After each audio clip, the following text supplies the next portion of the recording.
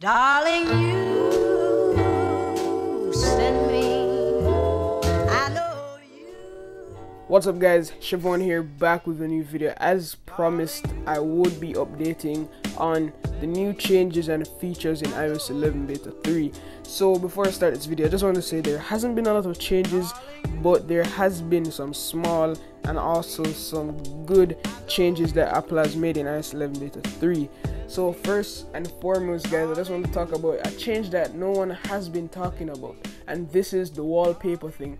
So normally in iOS 11 beta 2 and 1, when you try to change your wallpaper, I don't know if you guys realize, but every time you try to change your wallpaper, it it just crashes your phone and it just resprings and you have to go into the photos app wait for it to respring go into the photos app and then set it again. So now that has been changed it has been cleared up. I don't know why a lot of people haven't been realizing this. Maybe it's only me but that has been fixed in ios 11 beta 3 also guys another new change is the wi-fi and bluetooth toggle thing. So in the previous version of iOS, iOS 11 the wi-fi just it wasn't like this before. So now when you tap on the Wi-Fi toggle, it doesn't actually turn off the Wi-Fi. It's weird. It's just it just disconnects from the current Wi-Fi network and it doesn't connect to any network that might be available and it just just turns off. So if you tap on the toggle again, iOS will start searching for networks again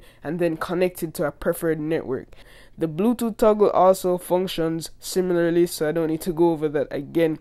Another welcome change or feature is the notification center. It has been touched up, it has been cleaned up a little bit, so it removes the earlier today swipe gesture.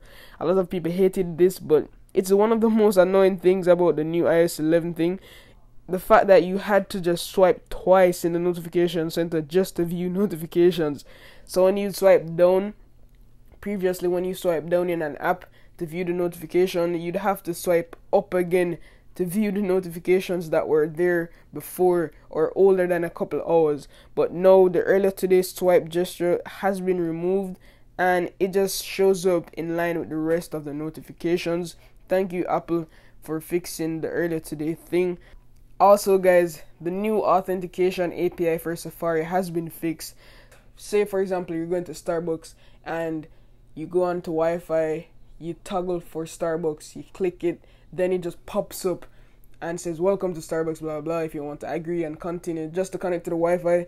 In iOS 11 it wasn't working. Sometimes you'd have to go into Safari or you'll be connected to the Wi-Fi and it just doesn't load anything. You get notifications you get all that but once you want to post a snap you want to view Instagram it just doesn't work. Now in iOS 11 it will prompt you it will just jump onto Safari. You don't have to try to work around anymore. So thank God that has been fixed in iOS 11 beta 3. Also, the Safari View controller has been updated. So Safari's in-app browser gets a visual update as well. So now when you 3D touch on a link that's going to open in Safari View controller, you get a better UI and the toolbar is collapsed. And it also has a new default preview option.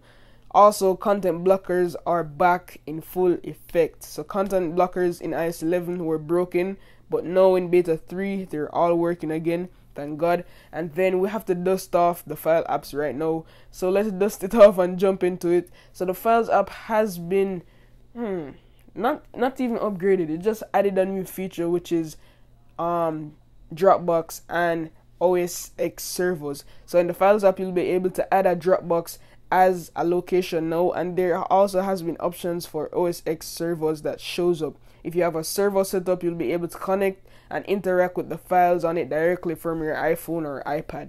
Also, AirPlay for third-party apps has been fixed, so AirPlay now works as it should, especially when using third-party applications. We also have new TV providers, and I say have because it has been listed these are Comcast, Xfinity, and at this point, they're just a listing. They don't actually work, but we're stepping in the right direction.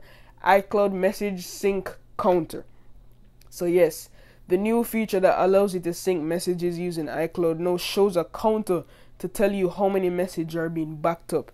And that wraps the video, guys. That's everything I found. Oh, yeah, in the control center, the flashlight is now blue. so that's a new change. It's blue. It's blue. Yeah. Normally it was black, then it turned to yellow. Now it's blue. So everyone knows EverythingApplePro might find 50 changes. If he does, I will delete my channel because I couldn't find anything else going on right here. But there has been a lot of bugs that needs to be fixed. For example, if you're in WhatsApp or something and you just want to like the the whole UI is glitching out. A lot of small thing that annoys me sometimes. That's why I said I made a couple videos on five reasons why you should install iOS 11 and five reasons why you should not install iOS 11 beta. So yes, guys, please check the links down below in the description. If you enjoyed the video, drop a like down below. Subscribe if you're new. And always look out for more videos this week. Love, peace, and tweets. Signing out. See you in the next one. Could be a dream if I could take you up in paradise up above. If you would tell me I'm the only one that you love, life could be a dream.